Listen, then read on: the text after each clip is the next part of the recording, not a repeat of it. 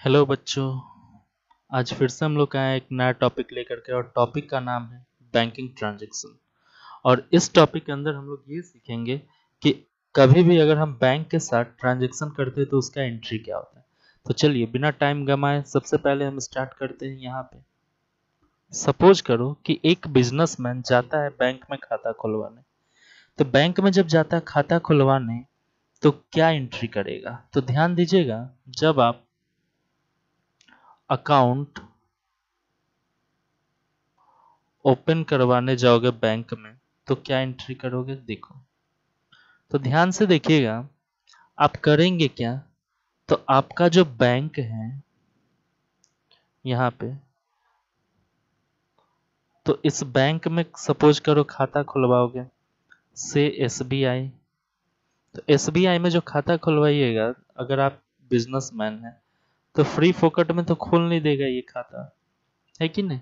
यहाँ पे क्या जमा करना पड़ेगा बाबू? आपको कैश जमा करना पड़ेगा। कैश जमा कर, करना पड़ेगा तब खाता आपका खुलेगा। तो देखो क्या है कि बैंक में ये कैश कहाँ चला जाएगा? बैंक में चला जाएगा। यानी बैलेंस कहाँ बढ़ेगा बाबू? बैंक में तो बैलेंस बढ़ जाएगा बट जो बिज़नेस के अंदर कैश रखा हुआ वो कैश क्या होगा? कम हो जाएगा। तो देखिएगा इफ़ेक्ट क्या आएगा इस एंट्री का।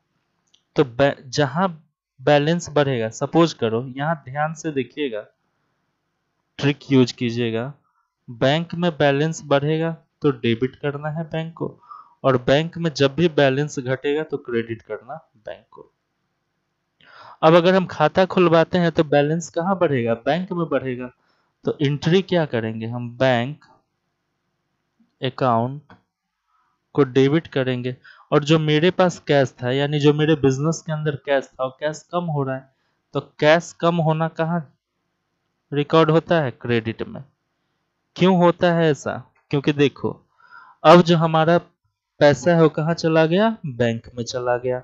तो एसेट्स कहाँ पे बढ़ रहा है बेटे? बैंक में बढ़ रहा है तो डेबिट करेंगे इसको। और पास का जो कैश वाला एसेट्स वो मेरा कम हो रहा है बिज़नेस के अंदर। तो एसेट्स कम हो रहा है तो हमें क्या करना पड़ेगा? क्रेडिट करना पड़ेगा, इसीलिए हमने कैश को क्रेडिट किया। दूसरा चीज़ देखिएगा। डिपोजिटेड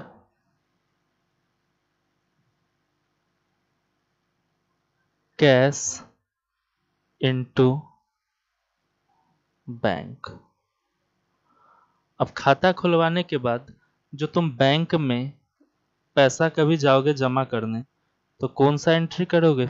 यही वाला सेम एंट्री करोगे हाँ। फिर से तुम्हारा बैंक अकाउंट में पैसा बढ़ेगा और कैश तुम्हारे बिज़नेस से घटेगा तो बस यही सेम एंट्री आपको करना होता है हाँ। अब बेटे हम तीसरा ट्रांजेक्शन देखते हैं, क्या होता है। तीसरा ट्रांजेक्शन ध्यान से देखिएगा। कैश विड्रॉ फ्रॉम बैंक अब देखेंगे। Cash withdrew cash withdrew from bank यानी पैसा कहाँ से निकाला जा रहा है बाबू? बैंक से पैसा निकाला जा रहा है। सिंपल सा बात। अब देखो, जब भी तुम कैश विड्रू करोगे, वो दो रीजन हो सकता है। एक तो रीजन हो सकता है कि तुम पर्सनल यूज़ के लिए निकाल रहा हूँ। पर्सनल यूज़ के लिए निकाल रहा और दूसरा हो सकता है कि तुम बिज़नेस यूज़ बिज़नेस यूज़ के लिए निकाल रहे हो। तो देखो, जब भी तुम बिज़नेस के अकाउंट से पैसा निकालोगे, ध्यान रहे, किस अकाउंट से? बिज़नेस के अकाउंट से। बैंकिंग ट्रांजेक्शन हम किसके लिए यहाँ पे पढ़ रहे हैं? फॉर बिज़नेस अकाउंट हम बिज़नेस अकाउंट का यहाँ पे बात कर रहे हैं, किसी भी लोगों का, किसी भी ऑनर का पर्सनल अकाउंट का। हम बात कर ही नहीं रहे पर्सनल अकाउंट मतलब सेविंग अकाउंट उसका तो मैं बात कर ही नहीं रहा हूँ। मैं यहाँ बिज़नेस अकाउंट यानी करेंट अकाउंट का मैं बात कर रहा हूँ यहाँ पे, जो बिज़नेस में खोला जाता है। समझे? तो मैं यहाँ पे करेंट अकाउंट रिलेटेड बात कर रहा हूँ। तो ध्यान दीजिएगा, जब भी कोई बंदा बिज़नेस से कैश निकाल लेता है पर्सनल यूज़ के लिए तो पर्सनल यूज़ के लिए निकालेगा तो एंट्री बनेगा। पर्सनल यूज़ के लिए अगर आप निकालते हैं ना तो ड्राइंग को डेबिट करना होगा। क्यों? क्योंकि बैंक के अंदर जो पैसा था, वो किसका था? सर वो तो बिज़नेस का पैसा था। तो बिज़नेस का पैसा जब आप निकाल लोगे तो क्या हो रहा है? बिज़नेस का पैसा जब आप निकाल लोगे पर्सनल यूज़ के लिए तो ड्राइंग अकाउंट को सर हम डेबिट करेंगे। सर हम क्यों करेंगे डेबिट हम क्यों करेंगे डेबिट? सर, रीजन क्या है? तो कैपिटल कम कर दिए। कैपिटल का बढ़ाना क्या होता है? क्रेडिट होता है। और जैसे ही मेरा कैपिटल कम हो गया, क्योंकि वो बिज़नेस का पूंजी था बैंक में तो बिज़नेस का पूंजी था तो अभी क्या हो गया? बिज़नेस का पूंजी कम हो गया। समझ में आ रहा है ना? तो ध्यान दीजिएगा, बिज़नेस को किसने पूंजी दिया था? ऑनर ने दिया था। तो ऑनर का क्या हो गया? ऑनर का कैपिटल कम हो रहा है ड्रॉइंग की वजह से।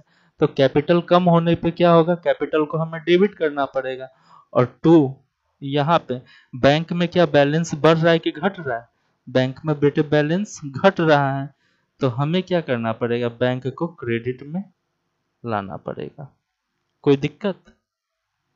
बैंक को क्या करना पड़ेगा? क्रेडिट में लाना पड़ेगा। क्यों लाना पड़ेगा? क्योंकि एसेट्स में कमी आ रहा है। दूसरा चीज़ देखिएगा, जब ये बिज़नेस यूज़ के लिए निकालेंगे तो बिज़नेस के अंदर क्या होगा? कैश बढ़ जाएगा। तो कैश अकाउंट को डेबिट करेंगे और टू में लिखेंगे बैंक टू में लिखेंगे बैंक अकाउंट तो एंट्री क्या बनेगा? Cash account debit to bank account cash क्यों डेबिट होगा? क्योंकि बिज़नेस में एसेट्स बढ़ जाएगा। बैंक से निकल के कहा आ जाएगा? बिज़नेस में कैश आ जाएगा? और बैंक में क्या होगा बेटे? एसेट्स घट जाएगा, इसीलिए बैंक को हमें क्रेडिट करना पड़ेगा। फिर आगे एंट्री देखते हैं। चलो अब चौथा ट्रांजेक्शन देखते हैं। तो देखिए, चौथा ट्रांजेक्शन क्या है? ध्यान से देखिएगा। Payment payment made to creditor creditor by cheque अब ध्यान दीजिएगा क्रेडिटर कौन होता है? जिससे हम उधारी सामान खरीदते हैं। और ये मेरे लिए लाइबिलिटी लाइबिलिटीज होता है। ये मेरे बिज़नेस के लिए बेटे लाइबिलिटीज होता है। तो ध्यान दीजिएगा, अगर हमने क्रेडिटर को पेमेंट किया है चेक से तो लाइबिलिटीज मेरा क्या होगा? घटेगा। तो लाइबिलिटीज का घटना क्या होता है? डेबिट होता है। तो हम लिखेंगे creditor creditor account debit to पैसा कहाँ कमेगा? पेमेंट किए हैं। चेक से अगर पेमेंट किए हैं तो कहाँ कटेगा बैलेंस बैंक में कटेगा। अगर किसी पार्टी को पेमेंट होगा तो उसका बैलेंस अगर किसी पार्टी को पेमेंट होगा तो मेरा बैलेंस कहाँ से कटेगा? बैंक से कटेगा। सिंपल सी बात है। सपोज़ करो, ये मेरा बैंक अकाउंट है और बैंक का नाम है S B I S B I का चेक हम इसको दे दिए हैं। ये सपोज़ कीजिए राकेश है। राकेश मेरा क्रेडिटर है। राकेश कौन है? मेरा क्रेडिटर है। अब हम एसबीआई का चेक इसको दिए हैं। इशूड किए हैं। पेमेंट किए हैं हम राकेश को। अब राकेश जैसे ही चेक जमा करेगा अपने बैंक अकाउंट में तो मेरे बैंक से पैसा कट करके कहा चला जाएगा? इसके बैंक में जमा हो जाएगा, इसके बैंक में प्लस हो जाएगा। अब मेरे बैंक से पैसा कट जाएगा तो मेरे बैंक में पैसा घटेगा तो हम कहा लिखेंगे बैंक को? क्रेडिट करेंगे। तो बैंक अकाउंट को हम बेटे क्रेडिट कर देंगे। अब ध्यान से देखिएगा, पांचवा entry एवहब cheque dishonour एवहब cheque dis yes cheque dishonoured dishonoured का मतलब क्या होता है? नॉट क्लियर हमने जो किसी पार्टी को पेमेंट किया था, वो क्लियर नहीं हुआ। हो सकता है चेक में कोई एरर था, जिस कारण से चेक क्लियर नहीं हुआ। तो अब चेक क्लियर नहीं हुआ तो राकेश हमसे फिर पैसा लेगा। राकेश कहेगा, भाई, तू कैसा चेक दिया? चेक तो क्लियर हुआ ही नहीं। तो राकेश मतलब लाइबिलिटीज फिर से मेरा प्लस हो गया। और हम जब मान के चल रहे थे कि बैंक में मेरा पैसा कट गया तो बैंक में पैसा कटा ही नहीं, क्योंकि मेरा चेक में मिस्टेक था। तो मेरे चेक से क्या है, इसके अकाउंट्स में पैसा नहीं गया। समझ गया ना? इसके अकाउंट में पैसा नहीं प्लस हुआ। समझे? तो फिर क्या करेंगे? हमारे अकाउंट में पैसा कटा ही नहीं। तो हम अपने अकाउंट में क्या कर लेंगे बाबू? यहाँ पे जो माइनस किए हुए हैं, यहाँ पे जो इस एंट्री में जो हमने माइनस किया है, इसको प्लस बनाने के लिए क्या करना पड़ेगा? फिर से हमें बैंक अकाउंट को डेबिट कर लेना पड़ेगा। तो हम क्या करेंगे? फिर से रिवर्स एंट्री कर देंगे। बैंक अकाउंट को कर देंगे डेबिट अब फिर से लाइबिलिटीज बढ़ गया। फिर से हमें पेमेंट करना पड़ेगा राकेश को। तो राकेश कौन है? हमारा क्रेडिटर है। तो हम यहाँ लिख लेंगे क्रेडिटर अकाउंट क्रेडिटर के जगह नाम लिखेंगे, समझ गए ना?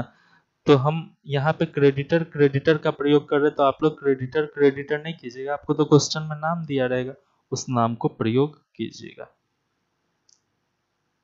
तो देखिए, फिर से मेरा लाइबिलिटीज प्लस हुआ, इसीलिए हमने क्या करा? क्रेडिट किया। और फिर से बैंक से पैसा कटा ही नहीं तो एसेट्स फिर से बढ़ गया। इसीलिए ये क्या हो गया? बैंक अकाउंट डेबिट हो गया। चलिए, फिर देखते हैं हम छठा एंट्री अब बेटे देखेंगे entry number six entry number six क्या है? तो ध्यान से देखिएगा cheque received from debtor debtor यानी पार्टीज़ अब ये कौन होता है? डेटर कौन होता है जिसको हम उधारी में माल बेचे रहते हैं, उसको हम डेटर बोलते हैं। समझ गए? तो जब हमें डेटर अगर चेक दिया है चेक हमें डेटर से प्राप्त हो रहा है तो देखिए सिचुएशन क्या क्या होगा। तो देखेंगे चेक जो बेटे रिसीव्ड हुआ है, इसमें दो सिचुएशन क्रिएट हो सकता है। पहला सिचुएशन और दूसरा सिचुएशन तो गौर से ध्यान दीजिएगा। तो मान लो, अगर मुझे किसी पार्टी ने चेक दिया, मैंने उधारी में माल बेचा था, उसने मुझे पेमेंट करा चेक से। चेक से पेमेंट करा तो पहला सिचुएशन ये हो सकता है, अगर वो आफ्टर बैंकिंग आवर दिया है, ध्यान दीजिएगा after banking our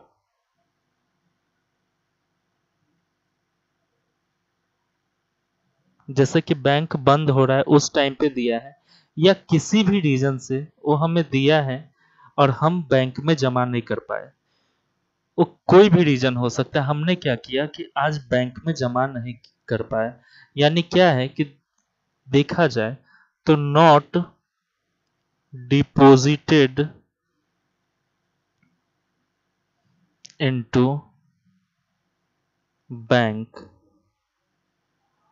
same day. जिस दिन हमको चेक मिला ना बेटे, उस दिन हम जमा नहीं कर पाए। तो नहीं अगर जमा कर पाए तो एंट्री जो मेरा बनेगा, वो क्या एंट्री बनेगा, जरा ध्यान से देखेंगे। तो चेक तो रह गया हाथ में। हाथ का मतलब ड्रॉ में रख देंगे हाँ? या कहीं पे भी रख देंगे, लेकिन बोलेंगे चेक इन हैंड वो बैंक में तो गया ही नहीं। तो cheque in hand account debit लेकिन इस पार्टी का नाम तो हटाएँगे ना। इस पार्टी का तो नाम हटाएँगे। और डेटर होता कौन है? बिज़नेस का एसेट होता है। तो यानी इस एसेट को माइनस तो हमें करना होगा, क्योंकि डेटर मुझे चेक दे दिया। तो अब डेटर को तो हटाना होगा। तो डेटर को क्या करेंगे बाबू? क्रेडिट में लिखेंगे। डेटर अकाउंट को क्रेडिट में लिखेंगे। और ध्यान दीजिएगा डेटर एसेट होता है एसेट्स मुझे एक बार चेक दे दिया तो दोबारा देगा नहीं। समझ गए? तो एसेट घट गया। अब दूसरा, इसी में देखिएगा ए नंबर एंट्री ये किए अब बी इसका क्या हो सकता है? अगर ये चेक किसी अगले दिन बैंक में जमा हुआ तो क्या एंट्री होगा? तो एवव cheque deposited into bank deposited into bank next day. Next day. मतलब हम अगले दिन इस चेक को क्या किए? बैंक में ले जाके जमा कर दिए। तो अब बेटे क्या हुआ? बैंक में फिर से ध्यान देना। लिखे थे पहले भी बैंक में चेक का बढ़ना सॉरी बैंक में बैलेंस का बढ़ना डेबिट होगा। और बैंक में बैलेंस का घटना क्रेडिट होगा, इसको ध्यान में रखिएगा। इसी के आधार पे आपका पूरा एंट्री होगा। तो एभव चेक मतलब ये वाला जो चेक इन हैंड था ना, ये कहाँ चला गया? बैंक में चला गया। तो अब तो चेक इन हैंड मेरे पास रहा नहीं चेक तो रहा नहीं तो इस चेक को कैंसिल करना होगा। तो क्या लिखेंगे नीचे? क्रेडिट में लिखेंगे to cheque in hand account cheque in hand account लिखेंगे। और ये चेक कहाँ चला गया बाबू? बैंक में जमा हो गया। तो हम ये मान के चल रहे कि बैंक में बैलेंस मेरा बढ़ गया। समझे? हम ये मान के चल रहे कि बैंक में बैलेंस मेरा बढ़ गया। तो हम बैंक अकाउंट को डेबिट कर लेंगे टू चेक इन हैंड लिख लेंगे। सिचुएशन नंबर टू क्या हो सकता है कि चेक मिला और डिपॉजिट कर दिए सेम डे तो deposited into bank same day अब ध्यान देना बेटे सेम डे हम गए और बैंक में डिपॉजिट कर दिए चेक को। तो बैंक में बैलेंस बढ़ गया, ऐसा मानेंगे। तो बैंक अकाउंट डेबिट और टू जो पार्टी दिया है डेटर डेटर मतलब एसेट्स वो मेरा कम हो रहा है। क्योंकि वो मुझे दे दिया पैसा चेक के माध्यम से तो ये डेटर अकाउंट लिख देंगे। समझ में फिर अब कॉन्सेप्ट नंबर सिक्स के बाद बेटे सेवन देखेंगे। अब कॉन्सेप्ट नंबर सेवन देखेंगे। सेवन में क्या है? जरा ध्यान दीजिएगा। ये जो पार्टी हमें चेक दिया है तो अगर ये चेक डिजर्नर हो जाए तो क्या होगा? तो देखो A B O V above check if above check if above check is dishonored. If above check becomes dishonored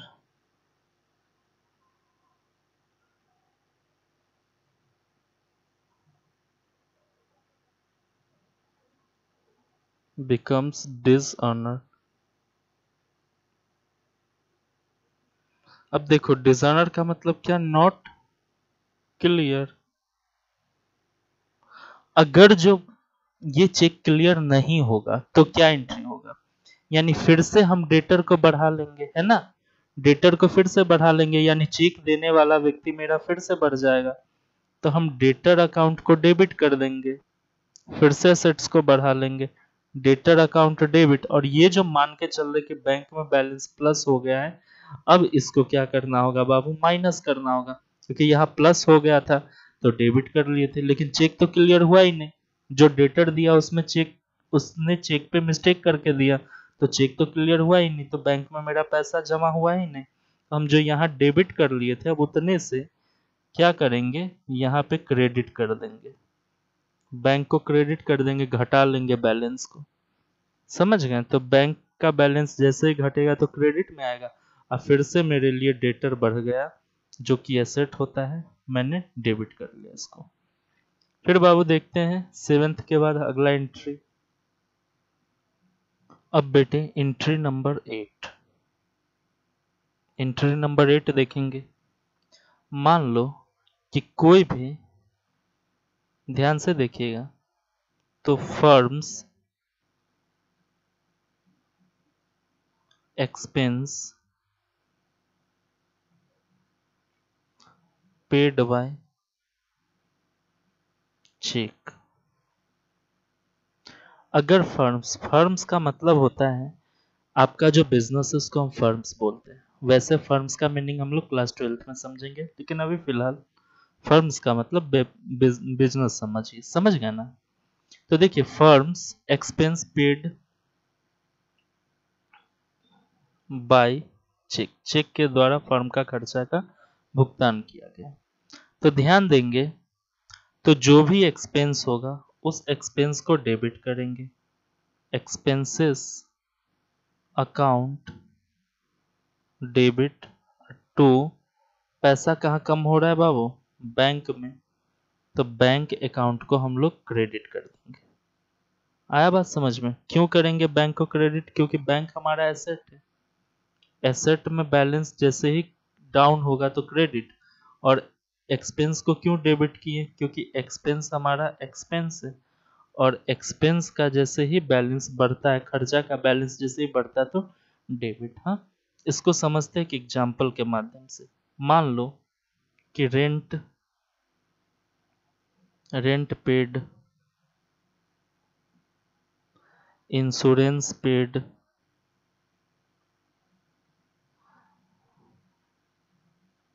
हाँ उसके बाद में सैलरी पेड ये जितने भी पेड है ना, सब क्या है बाबू? बाई चेक है। सब क्या है? बाई चेक ये जितने भी पेमेंट हुआ है, सब बाई चेक पेमेंट हुआ है। तो अगर इसका एंट्री बनाना हो तो कैसे हम बनाएँगे? तो ये देखिए, जितने भी सब बिज़नेस का एक्सपेंस है तो सबको क्या करेगा? बिज़नेस डेबिट करेगा। Rent rent account debit insurance account debit उसके उसके बाद में सैलरीज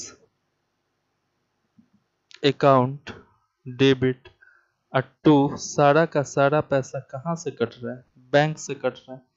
तो बैंक अकाउंट क्रेडिट किया जाएगा। समझ में आ रहा है? बैंक अकाउंट को हम क्रेडिट करेंगे क्योंकि बैंक में हमारा बैलेंस कट रहा है और बैंक एसेट होता है। एसेट का घटना, एसेट का घटना क्रेडिट किया जाता है।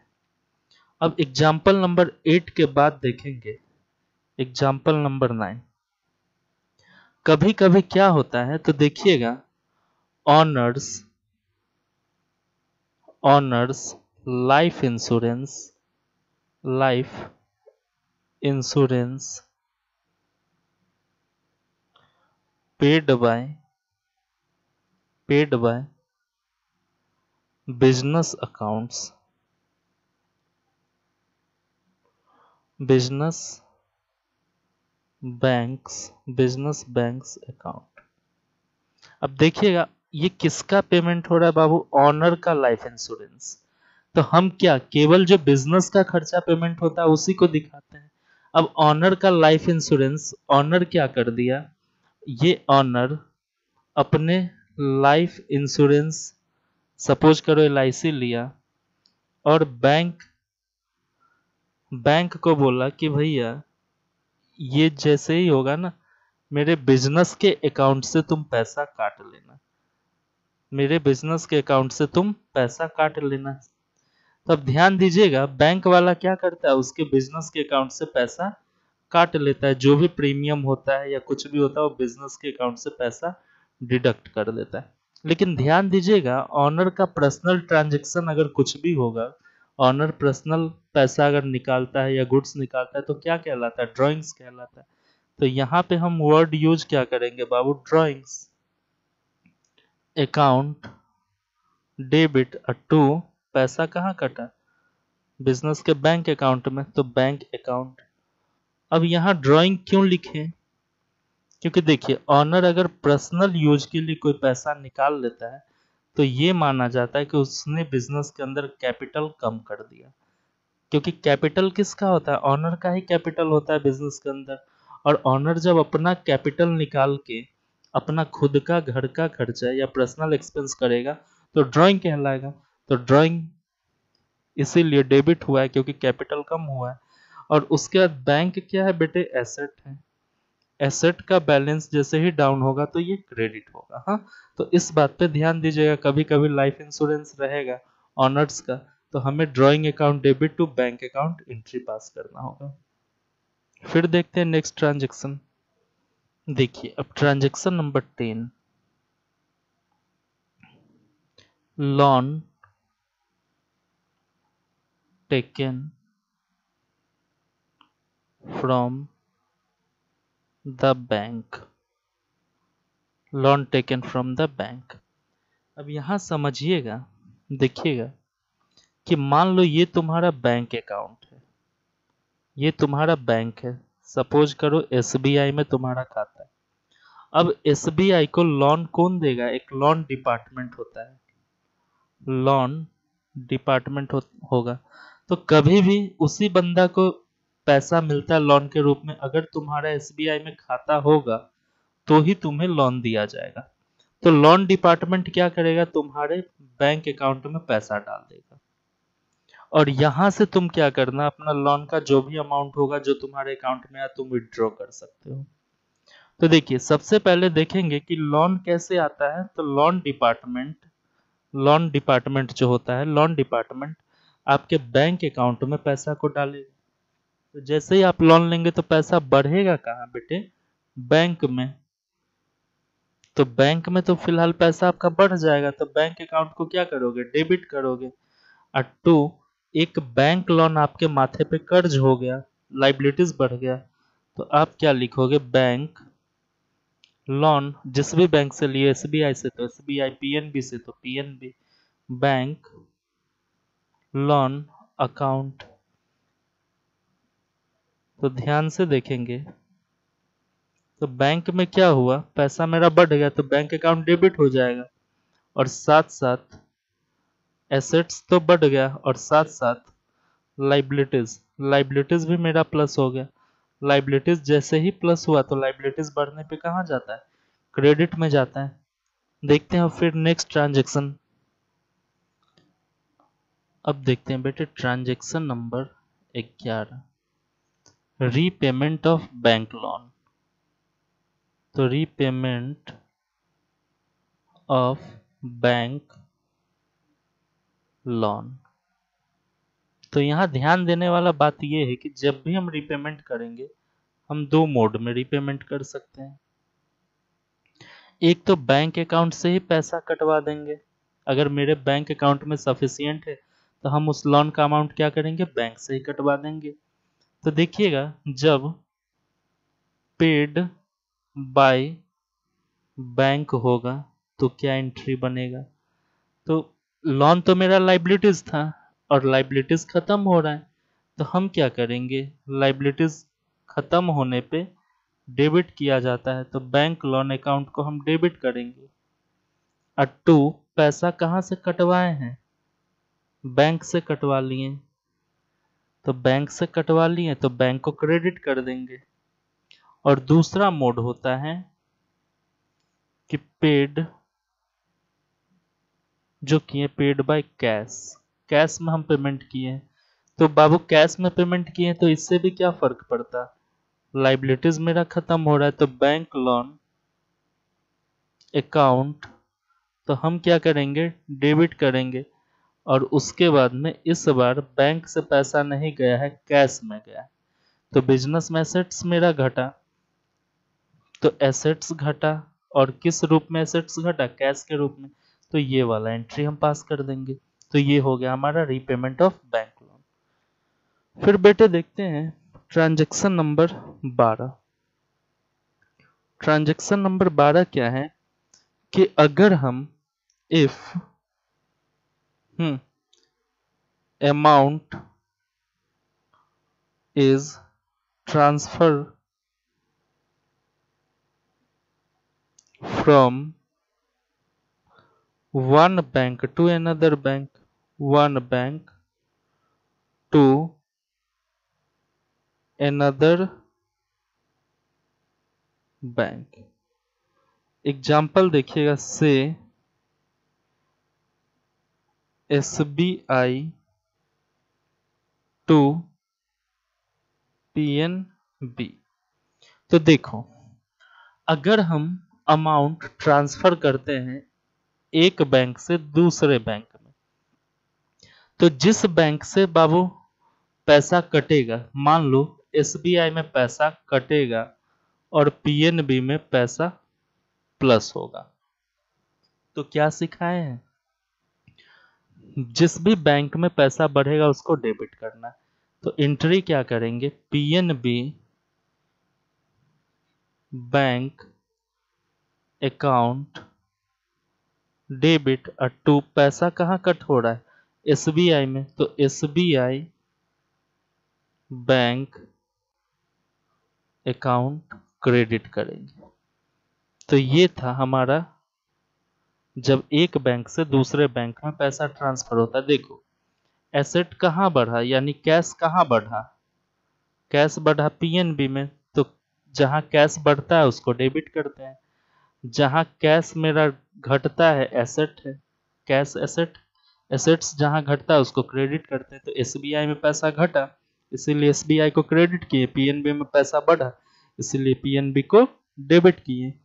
समझ गए? तो यही था बैंकिंग रिलेटेड ट्रांजेक्शन और भी छोटे छोटे कई ट्रांजेक्शन आएँगे बैंकिंग बैंकिंग रिलेटेड तो उसको हम लोग क्वेश्चन करते टाइम पे देख लेंगे। समझ गए ना?